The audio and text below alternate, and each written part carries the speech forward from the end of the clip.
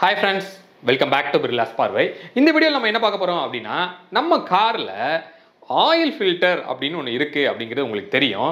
அது வந்து எப்போ நீங்கள் வந்து உங்களுக்கு அது விஷயம் தெரிய வரும் அப்படின்னா எப்போ நீங்கள் சர்வீஸ் கொடுக்குறீங்களோ உங்கள் பில்லு வந்து வரும். ஆயில் சேஞ்ச் பண்ணியிருக்கோம் ஆயில் ஃபில்டர் சேஞ்ச் பண்ணியிருக்கோம் அப்படின்னு சொல்லி. அப்போ அந்த ஆயில் ஃபில்டர்னா என்ன அது எப்படி இருக்கும் அதுக்குள்ளே என்ன ஸ்ட்ரக்சர் இருக்குது அது எப்படி ஒர்க் ஆகுது அப்படிங்கிறத இந்த வீடியோவில் ஃபுல் டெமோவோட நம்ம பார்க்க போகிறோம் நம்மக்கிட்ட ஒரு ஆயில் ஃபில்டருமே நம்மக்கிட்ட இருக்குது இங்கே நீங்கள் பார்க்கலாம். இதுதான் வந்து நம்ம காரில் இருக்கிற ஒரு ஆயில் ஃபில்டர் இதை ஃபுல் டீட்டெயிலாக இப்போ நம்ம பார்க்க போகிறோம் வீடியோக்குள்ளே போகலாம் வீடியோக்குள்ளே போகிறதுக்கு முன்னாடி நம்ம சேனலை இன்னும் நீங்கள் சப்ஸ்கிரைப் பண்ணல அப்படின்னா சப்ஸ்கிரைப் பண்ணிக்கோங்க.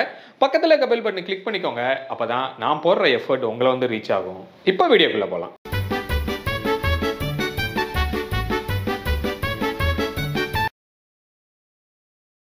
ஃப்ரெண்ட்ஸ் நம்ம காரில் இருக்கிற ஆயில் ஃபில்டர் நான் சொன்ன மாதிரி இப்படி தான் இருக்கும். எல்லா கார்லையும் இப்படி தான் இருக்குமா அப்படின்னு கேட்டால் ஆமாங்க இப்படி தான் இருக்கும். ஆனால் சைஸ் மட்டும் உங்களுக்கு என்ன இருக்கும் அப்படின்னா மேபி பெருசாக இருக்கலாம். இல்லை ஒரு சில காலில் சின்னதாக கூட உங்களுக்கு இருக்கிறதுக்கு வாய்ப்பு இருக்குது அப்போ அது எதை பொறுத்து இருக்குது அப்படின்னா நம்ம காரோட இன்ஜினோட கெப்பாசிட்டியை பொறுத்து இருக்குது ஃபஸ்ட்டு இந்த இன்ஜின் ஆயில் அப்படிங்கிறது நம்ம காருக்கு எதுக்காக வேணும்? அது ரொம்பவே இம்பார்ட்டண்ட்டாக வந்து நம்ம பார்க்குறோம். ஏன் அந்த இன்ஜின் ஆயில் அப்படிங்கிறது வேணும் அப்படின்னு கேட்டிங்கன்னா நம்ம இன்ஜின்குள்ளே நிறைய மூவிங் காம்பனன்ட்ஸ் வந்து இருக்குது அந்த மூவிங் காம்பனன்ட்ஸை லூப்ரிகேட் பண்ணுறதுக்காக தான் இந்த இன்ஜின் ஆயில் அப்படிங்கிறது ஒன்று இருக்குது நம்ம காரில் ஆயில் பம்ப் அப்படின்னு சொல்லி ஒன்று இருக்கும். அது என்ன பண்ணும் அப்படின்னு கேட்டிங்கன்னா ரிசர்வாயரில் அதாவது நம்ம இந்த இன்ஜின் ஆயிலை வந்து நம்ம மேலே இன்ஜினோட டாப்பில் வந்து நம்ம ஊற்றுறோம் அது அப்படியே கீழே போயிட்டு கீழே ஒரு ரிசர்வாயர்னு சொல்லி ஒன்று இருக்கும். தொட்டி மாதிரி ஒன்று இருக்குது. அந்த தொட்டியில் தான் அந்த ஆயில் போயிட்டு உங்களுக்கு நிற்கும் அந்த ஆயிலை ப்ரெஷரை பம்ப் பண்ணி தான் இது எல்லா இடத்துக்குமே வந்து அந்த இன்ஜின் ஆயிலை ட்ராவல் பண்ண வைக்கிது. போயிட்டு அது அது தேவையான அதாவது தேவையில்லாத விஷயத்தை கலெக்ட் பண்ணிட்டு திருப்பியும் அந்த ரிசர்வாயருக்கு வந்து வரும். ஸோ இது ரொம்ப ப்ரெஷராகவே இந்த ஒர்க் வந்து நடக்குது. அந்த ஆயிலோட பம்போட உதவியோட. ஓகே ரைட் நான் சொன்ன மாதிரி உள்ளே வந்து நிறைய ஒரு ரோட்டரி காம்பனன்ஸ் வந்து இருக்கு. இன்னொன்று ஃபயரிங் நடக்கிற இடத்துலையும் இந்த ஆயில் போயிட்டு திருப்பி வெளியே வருது. அப்போது அந்த ஃபயரிங் நடந்து முடிஞ்ச உடனே நிறைய கார்பன் கண்டென்ட்ஸ் வந்து உங்களோட இன்ஜினோட வாலில் வந்து ஒட்டிட்டு இருக்கும். அப்போ இந்த ஆயில் தான் வந்து என்ன பண்ணும் அப்படின்னா பிஸ்டனில் பிஸ்டன் ரிங் அப்படின்னு சொல்லி ஒன்று இருக்கும். அந்த பிஸ்டன் ரிங் வந்து என்ன பண்ணும்னா ஸ்லைட்டாக ஸ்ப்ரிங் லோடடாக இருக்கும். அது வந்து இந்த வாலில் இருக்க அந்த ஆயிலை வந்து அப்படியே வலிச்சு எடுத்துட்டு கீழே ரிசர்வ் ஆகிருக்கு வருது. அப்போ அந்த வலிச்சு எடுத்துட்டு வரும்போது அந்த வாலில் இருக்கிற கார்பன் பார்ட்டிகல்ஸ் எல்லாமே என்ன ஆகும்னா கலெக்ட் ஆகிட்டு கீழே வந்து உங்களுக்கு அந்த தொட்டிக்குள்ளே வந்து திருப்பி சேரும். இன்னொன்று சுத்தம் போது இந்த கியர்லாம் ஒன்னோட ஒன்று என்கேஜ் ஆகி ஓடும் போது என்ன ஆகும்? சின்ன சின்ன மெட்டல் பீசஸ் வந்து அந்த இடத்துல வந்து சிப் ஆகி வெளியே வர்றதுக்கு வாய்ப்பு இருக்குது அந்த சின்ன சின்ன பார்ட்டிகளையும் கலெக்ட் பண்ணிவிட்டு திருப்பி வந்து உள்ளே வருது. இந்த ஃபில்டர் எப்படி ஒர்க் ஆகுது அப்படின்னு நீங்கள் பார்க்கலாம். இப்போ நான் வந்து இப்படி காமிக்கிறேன் உங்களுக்கு தெரியுதுன்னு நினைக்கிறேன். நிறைய ஹோல்ஸ் வந்து இங்கே அவுட்டர் சைடில் வந்து இருக்குது இன்னொன்று நடுவில் ஒரு பெரிய ஹோல் இருக்குது சரியா? இந்த வெளியில் இருக்கிற சின்ன சின்ன ஹோல்ஸை தான் என்ன சொல்லுவோம் அப்படின்னா இன்லெட் போர்ஷன் அப்படின்னு சொல்லுவோம். இந்த உள்ளே இருக்கிற அந்த பெரிய ஹோல் தான் வந்து ஃபில்டர் ஆகி பியூரான ஒரு ஆயில் வந்து இப்படி வெளியில் வரும். சரியா? அப்போ அதுக்குள்ள என்னதான் நடக்குது இது அப்படின்னு நீங்கள் பார்க்கணும் அப்படின்னு கண்டிப்பாக நீங்கள் ஈகராக இருப்பீங்க. நானே ஈகராக இருக்கிறேன். இப்போ என்ன பண்ண போகிறோம் அப்படின்னா இந்த இதை ஓப்பன் பண்ணி உள்ளே என்ன மாதிரி விஷயங்கள் இருக்குது அப்படிங்கிறத இப்போ நம்ம பார்க்கலாம்.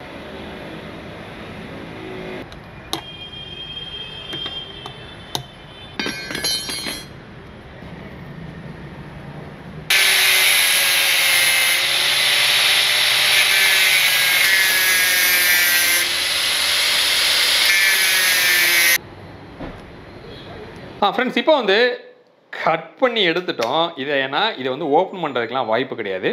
கட் பண்ணால் இப்படி வந்து தனியாக அந்த மூடி வந்து தனியாக வருது. ஸோ இது வந்து மேலே உள்ள கேப்பு இந்த கேப்பெல்லாம் நீங்கள் தனியாக ஓப்பன் பண்ண முடியாது. இது கம்ப்ளீட்டாக ஷீல்டாக வந்து இருக்குது ஓகே இப்போ இதில் தான் உங்களுக்கு மேலே என்ன இருக்குது நான் சொன்ன மாதிரி இங்கே வந்து பின்னாடி சுற்றி வந்து ஓட்டை இருக்குது நடுவில் ஒரு பெரிய ஓட்டை இருக்குது அப்போ அந்த சுற்றி இருக்கிற ஓட்டையில் இருக்கிறது தான் இன்லெட் அப்படின்னு நான் சொன்னேன்.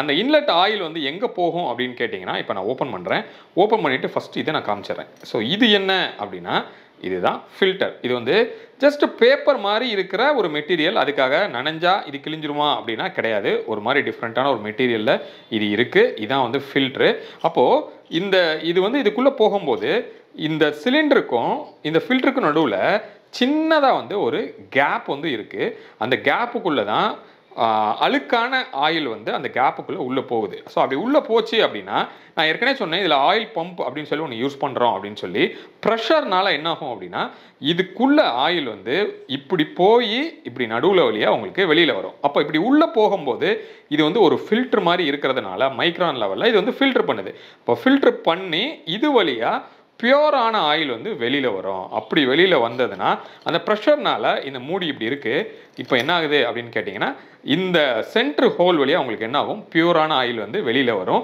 மறுபடியும் இது வந்து இன்ஜினோட உள்ளே போயிட்டு எல்லாத்தையும் க்ளீன் பண்ணி எடுத்துகிட்டு ரிசர்வாயரில் வந்து திருப்பி இது வழியாக வந்து திருப்பி இது வழியாக போகும். இதுதான் வந்து அப்படியே ரீசைக்கிள் வந்து உங்களுக்கு நடந்துகிட்டே இருக்கும். இதில் செம்ம பியூட்டியான இன்னொரு விஷயம் இருக்குன்னு நான் உங்களுக்கு சொல்கிறேன் இவ்வளோ சின்ன மேட்ருக்குள்ளே என்னென்ன வச்சுருக்காங்கன்னு நீங்கள் பாருங்கள் இதுக்குள்ளே ஒரு ஸ்ப்ரிங் ஒன்று வந்து இருக்குது இந்த ஸ்ப்ரிங் எதுக்காக அப்படின்னு கேட்டிங்கன்னா இது போய் இந்த ஸ்ப்ரிங்கு மேலே தான் இப்படி உட்காந்துருக்கும் அப்போது இந்த ஸ்ப்ரிங் இல்லைன்னா என்ன ஆகும்னு நான் காமிக்கிறேன். இப்போ இந்த ஸ்ப்ரிங் நான் எடுக்கிறேன்னு வச்சுக்கோங்களேன். இந்த ஸ்ப்ரிங் எடுத்துட்டேன்னா என்ன ஆயிடுச்சு உள்ளே போய் தொடக்குன்னு உள்ள உள்ளே விழுந்துருச்சு.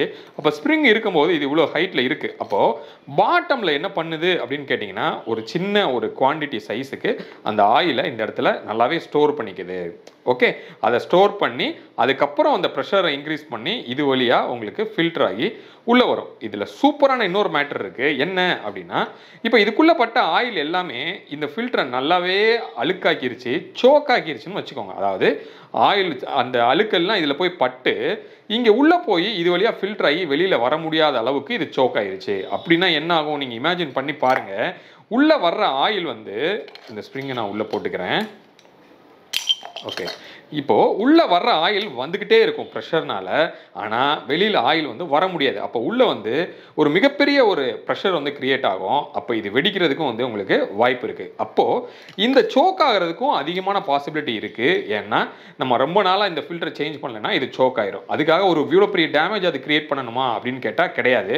ஒர்க் நடந்துக்கிட்டே தான் இருக்கணும். ஆனால் ஃபில்டர் ஆக வேண்டிய விஷயம் ஆகாமலே பைபாஸ் ஆகிட்டு நமக்கு என்ன பண்ணணும் ஆயில் வந்து உள்ளே போகணும். அப்புறம் பைபாஸ் பண்ணுறதுக்கு என்ன பண்ணியிருக்காங்கன்னா இதை சூப்பராக ஒரு மேட்ரு பண்ணியிருக்காங்க இதுக்குள்ளே பார்த்தீங்கன்னா சின்னதாக ஒரு ப்ரெஷர் வால்வ் மாதிரி உங்களுக்கு ஒன்று இருக்குது நீங்கள் நம்மளோட குக்கரை நீங்கள் இமேஜின் பண்ணிக்கோங்க. இந்த இதை சுற்றி அதிகமாக ப்ரெஷர் வந்து டெவலப் ஆகுது. இங்கே உள்ளே போகிறதுக்கு வழி இல்லாமல் ரொம்ப அதிகமாக ப்ரெஷர் ஆகும்போது அந்த ஆயில் அடியில் போயிட்டு என்ன பண்ணும்? இந்த ப்ரெஷர் வால்வை ஓப்பன் பண்ணி விட்டுரும். அப்போ அந்த ப்ரெஷர் வால் எப்படி ஓப்பன் ஆகும்னா இதுக்கு அடியில் உங்களுக்கு காமிக்கிறேன். சின்னதாக ரவுண்டாக ஒரு போர்ஷன் வந்து இருக்குது இதை நம்ம இப்படி அமுக்கணும் அப்படின்னா இது உள்ளே போகிறது உங்களுக்கு தெரியுதுன்னு நினைக்கிறேன். கண்டிப்பாக தெரியறதுக்கு வாய்ப்பு இருக்குது இதை வந்து என்ன பண்ணுன்னா அமுக்கும்.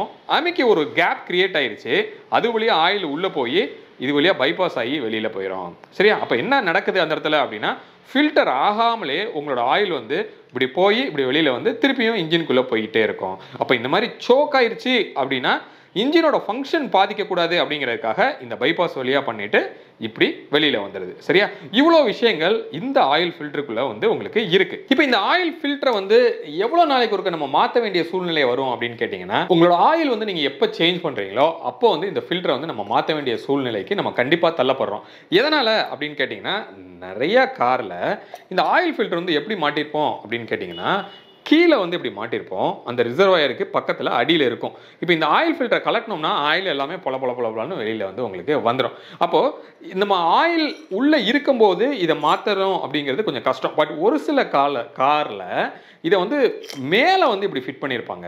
ரிசர்வாயர் கீழே இருக்கும்.